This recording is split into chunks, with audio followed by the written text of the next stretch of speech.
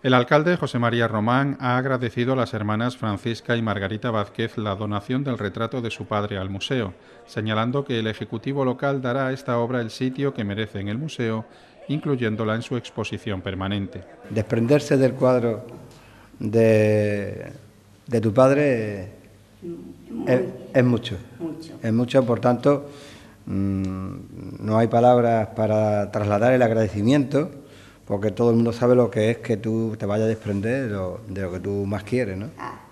Y, evidentemente seguro que este cuadro ha estado en el lugar principal. Nosotros vamos a intentar hacer honor y por tanto cumplir. Eh, nos gusta corresponder, creo que no es cuestión de educación, que por supuesto, sino sobre todo también de obligación y de derecho y de, y de lo que corresponde. José Vázquez Pleguezuelos, a quien José Cruz Herrera consideraba el gran artista del vestir, coincidió con el artista en Casablanca, encuentro del que nacería una íntima y duradera amistad. Fruto de ella es este retrato, realizado por Cruz Herrera en 1930, cuando el retratado contaba con 26 años de edad, como hace constar el propio autor en el reverso del lienzo más que la situación económica, más que todo, que esa es el amor. El amor lo amplifica todo.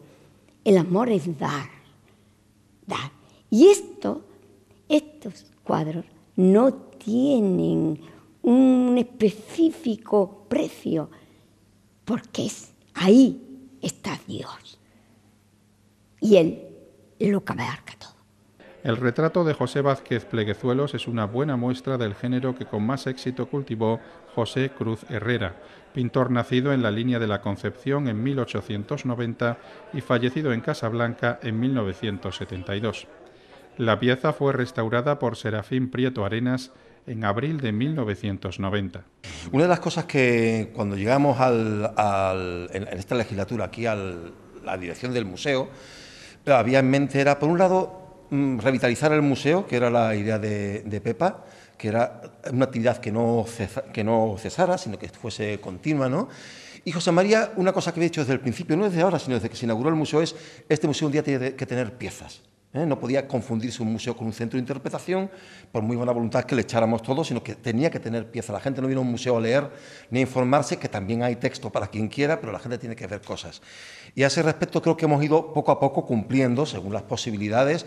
Romero expuso que el retrato, que se une a otras obras de artistas de la provincia de Cádiz, es de un autor muy vivo, tal y como se refleja en las subastas, donde su trabajo registra precios de salida bastante notables.